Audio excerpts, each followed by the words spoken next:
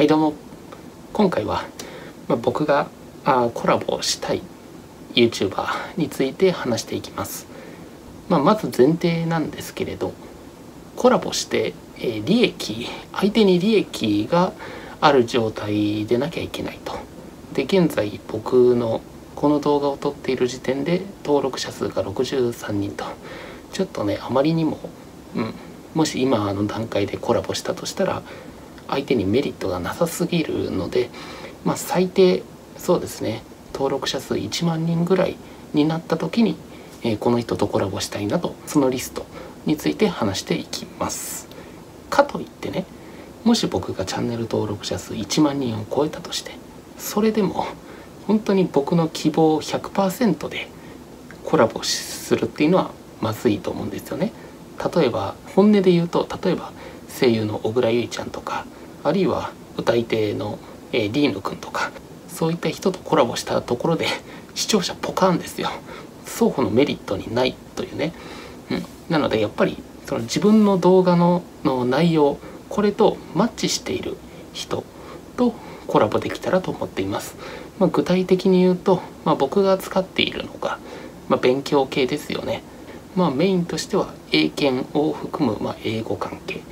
まあ、あるいは大学受験だったり、えー、数件あとまああんまり動画を撮ってないけれども歴史検定などを、まあ、正直扱っている範囲は結構広いです。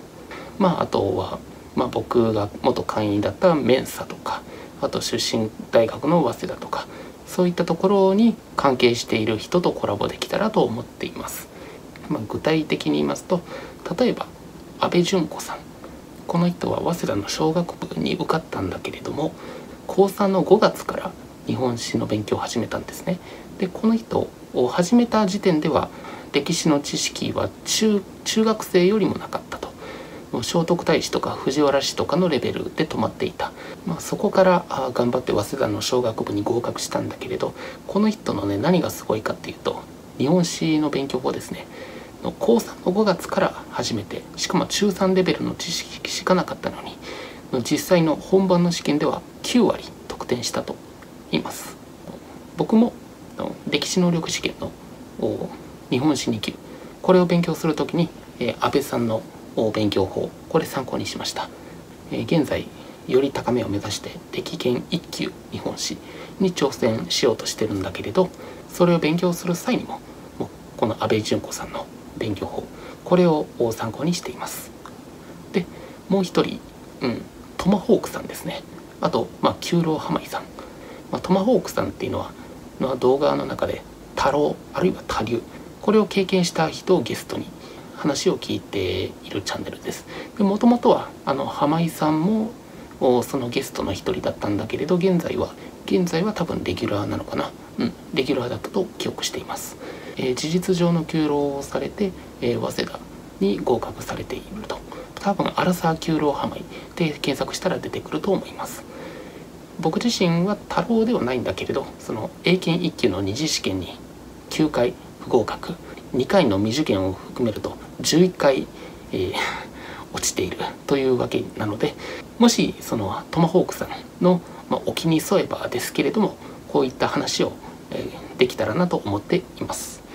あとコラボしたいのは森哲さんとかですかね。元東進の英語講師。現在は武田塾で講師をされています。TOEIC 満点講師として有名なんですけれどその満点を取った回数がなんと現時点で93回。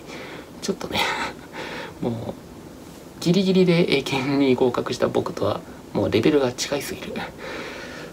格の違いを知らされますね。まあもちろん英語の勉強についても話したいし特にね僕が苦手としているスピーキングだったりの森哲先生は TOEIC でに特化して、まあ、僕は、まあ、失敗が多かったとはいえ英検にどちらかというと特化しているので、まあ、TOEIC と英検の違いこれについても話せたらと思っています。あるいはねあの森哲先生がこの前数件の準2級かなを受験しようとしてると。で僕は数件の1級にまあ、何度か受かりましたのでもしこれができたらその辺の数学とか数形に関するアドバイスこれもやっていきたいと思っています。まあねもちろんねこういうチャンネル登録者数が1万を超えて中には10万を超えている人もいます。そんな人と現在登録者数63人の僕がとがコラボしたとしてこの差でやってしまったら僕のメリットは大きいけれどそのコラボ相手のメリットが少なすぎると。まあ当面もしコラボをすることがあればのチャンネル登録者数が、まあ、2桁3桁の人とコラボすると思います。